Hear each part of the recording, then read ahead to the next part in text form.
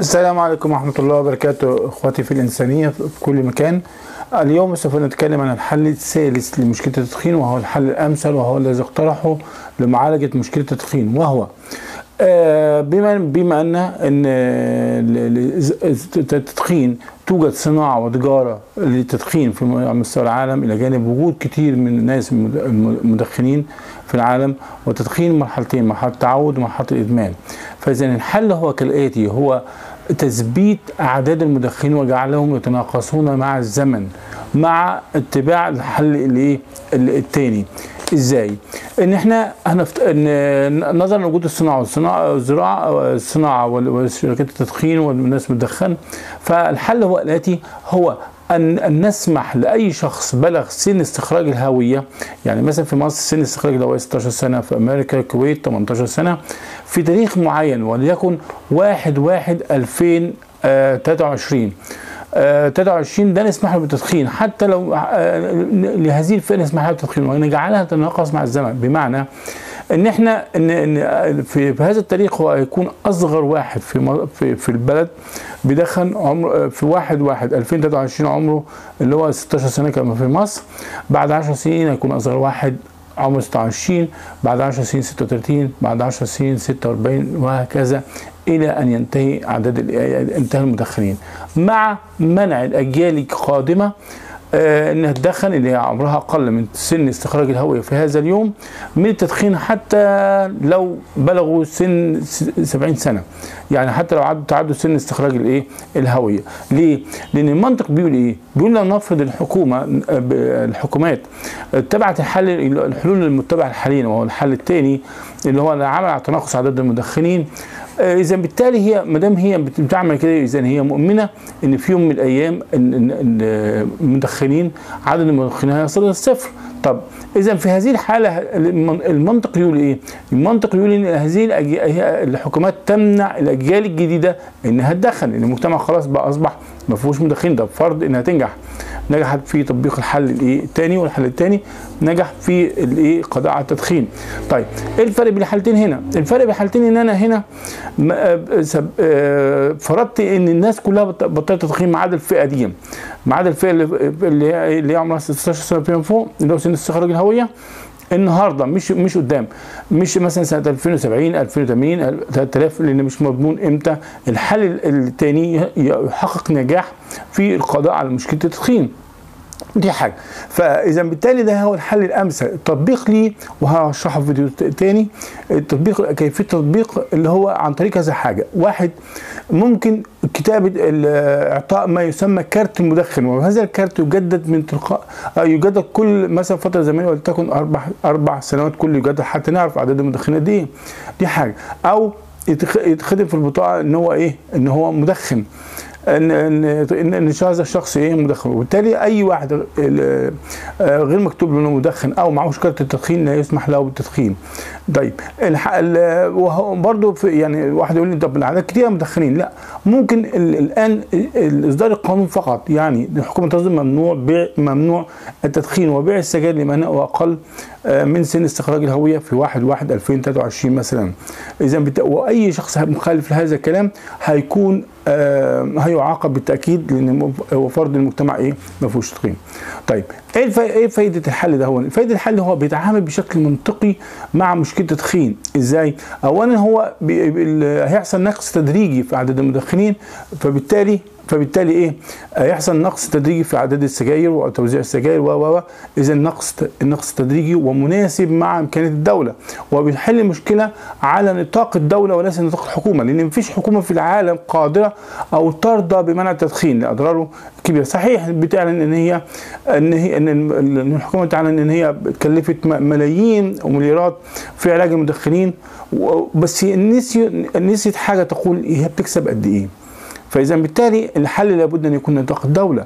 فإذا بالحل ده هو مناسب جدا بينقل المشكلة إلى نطاق الدولة أي على عدة حكومات وليس حكومة واحدة لأن مفيش حكومة في العالم قادرة أو ترضى بمن التدخين دي حاجة. لما نيجي نبص منطقيه الحل الحل بالنسبة لمشكلة التدخين نشوف أسباب انتشاره. يعني مثلا أنت واحد يروح عند دكتور يكون عنده الدكتور يكتشف إنه عنده نقص في الحديد. اذا لازم يديله يديله يديله vitamins الخاصة بالحديد. ما يدوش خاصة مثلا فيتام- فيتامين د مثلا أو حاجة B أو فيتامين الف اذا. طيب نعم تعالى ننظر إلى الأسباب لانتشار التدخين. واحد ال- الشباب عايز يثبت إن هو راجل كبير فإيه يجيب سيجارة. على أساس إن هو راجل بلغ راجل كبير طيب انت هنا لما تيجي نطبق النقطة دي بالنسبة لبند دهون لما تجي تجد النقطه دي ان النهارده أصغر واحد في مصر في مصر مثلا سنه ست- آه، ست- آه، 16 بيدخن عمره 16 سنة بعد 10 26 بعد 10 36 46 إذا التدخين هيبقى مظهر من مظاهر الكهولة وليس مظهر من مظاهر الشباب. إذا أنت قتلت إحدى أسباب دخول التدخين. النقطة الثانية النقطة الثانية المشكلة التدخين هي غالبا معظم المدخنين بيشتكوا أو دخلوا في, أصبحوا مدخنين بسبب السيجارة الأولى. يعني قاعدين في مجلس أو في اجتماع مع مجموعة من المدخنين واحد عايز أعطاه سيجارة فدخنها فأصبح تعود التدخين إنما هنا في الحل في لو تطبيق الحل الت- ال- التواجد بين المدخنين اللي هم فوق ال 16 سنة مع الأجيال الجديدة هي- هيقل بشكل كتير جدا إذا بالتالي أنت الاعداد. السبب ده مش هيكون موجود يبقى التدخين أصبح مظهر من مظاهر الكهولة. زي بالظبط ال- ال- ال- ال- الأغطية من الرأس زمان في في العهود القديمة كانت طربوش مثلا أو العمة ده مظهر الراجل ده كبر. طب دلوقتي لغت اتلغت. طب مين بيلبس طربوش دلوقتي؟ الآن مفيش. إنما لو واحد لبس طربوش شاب صغير شاب صغير يقول لك إيه؟ كبير. دي نقطة. النقطة الثانية ال- ال- في البنود الثانية في الحكومات بتقول إيه؟ بتقول ان نمنع التدخين في أماكن معينة الأماكن العامة. الأماكن العامة. طب أنت هنا لما بنيجي نمنع المدخنين بنمنعه أماكن كتير جدا حتى في بعض الأماكن العامة. لأن المدخن مش هيلاقي مش هيلاقي فرصته كتير جدا عدد المدخنين ما يقل. اذا بالتالي هيقل عدد إيه؟ الأماكن اللي بيدخل اللي يكون فيها تدخين. اذا إحنا بنقلل التدخين السلبي. دي نقطة، النقطة الثانية ال- في ناس مثلا تقول لك إيه؟ إن ممنوع بيع السجاير ل 18 سنة. اللي هو سن استخراج الهوية مثلا زي الكويت وأمريكا. آه، و16 في مصر. طب ممنوع البيع هنا في القانون في القانون هنا هتمنع البيع كلية للاجيال الجديدة خالص. يعني في لل- للمدخن في الشارع كمان لأن أنت ممكن تعمل لل- للشاب في بداية حياته في, البيت. الأب في أب موجود الأم موجود العم موجود هيمنع الشخص الشاب الصغير إنه يدخن. إنما بالطريقة دي أنت بتمنع بتحرس الشباب من التدخين إنه يدخل في التدخين حتى في الأماكن العامة لأن هيكون ممنوع البيع أو التدخين كلية فإذا أنت ده منطق في, في, في الحل. دي دي نقطة. النقطة الثانية أهم كتير إن أنت بتمنع السيجارة الأولى لأن مشكلة التدخين عامة في السيجارة الأولى. كتير جدا دخنوا بس كتير جدا ما قدروش يخلعوا على التدخين بسبب السيجارة الأولى. دي دي, دي حاجة.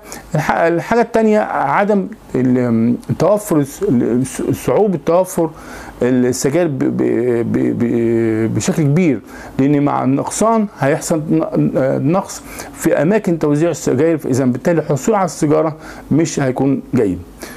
نقطة كمان بفائدة الموضوع إن ده هنا ال- الانحدار أو النقص في عدد المدخنين هيكون شبه تدريجي ومعروف.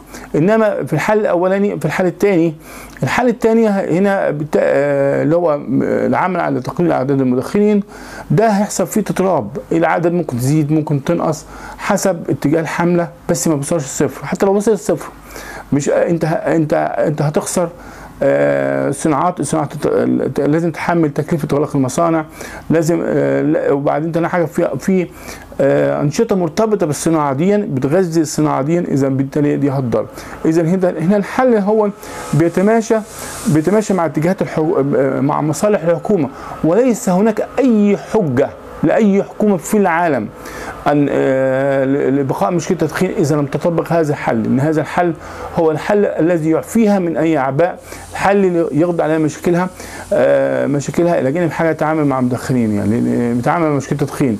ال- هنا لا أجبر المدخنين على التدخين لكن ال- ال- الشخص اللي بيدخن هسيبه يدخن. لأن مش مش محتاج إن هو إيه إن إن أنا أطبق الكلام ده هو على أجيال جديدة. يعني إذا كان الحكومة بتعمل على تقليل المدخنين طب هي ليه منتظره الأجيال الجديدة؟ هي بتعمل على تقليل أعداد المدخنين. طب ليه بتنتظر أعداد. الشباب اللي مدخنش على أساس يخش في موضوع التدخين عشان تنصحه طب الحملات دي مش بتكلف فلوس كتيرة بتكلف ملايين وأماكن وت- وتحديد الاماكن اللي هي ممنوع فيها الدخان. إذا بالتالي ما ليس هناك حجة. ليس هناك حجة لأي حكومة. إذا أرادت أن تحل مشكلة التدخين ألا تطبق هذا الحل؟ وحل منطقي جدا ولا يكلف الحكومات شيء خالص خالص خالص بالعكس إنها ممكن تحصل على أموال من الغرامات للشباب الغير مسموح له بالتدخين. ولا أقصد هنا الشباب فقط إنما الشخص الذي لا لا لا, لا, لا, لا يتعدى سنه سن استخراج الهوية في تاريخ معين وليكن 1 1 2023 آه، أنا هشرح لكم بعد كده إزاي تطبيق ورقة العمل دي اللي هو الحل القانون ده؟ وأي حكومة الآن الآن إذا أرادت هو إصدار قرار فقط ممنوع بيع السجاير ممنوع بيع وتدخين السجاير للأشخاص ال- الذي الذين سنهم أقل من سن استخراج الهوية في تاريخ محدد. قرار. وعقوبة. اثنين عقوبة. للشخص الذي يخالف هذا الكلام. حتى لو سنه بعد كده بلغ سن استخراج الإيه؟ الهوية. إذا بالتالي أنت بتحل مشكلة التدخين بلا مشاكل بلا أي مشكلة. هنناقش الحلول دي هنناقش كيفية التطبيق والتطبيق سهل جدا ما فيهوش أي مشكلة خالص خالص خالص. حكومتك إذا لم تطبق هذا الكلام أعلم إنها تاجره مخدرات. فما ثبت من أضرار التدخين في العالم أكثر كثيرا جدا ما ثبت أضرار الحشيش وحتى الخمر نفسه. آه، التدخين أخطر آفة في في هذا الزمان. ملايين ملايين ماتوا. ملايين ملايين من المرضى في المستشفيات بسبب الدخان. إذا لماذا تصر الحكومات على ذلك؟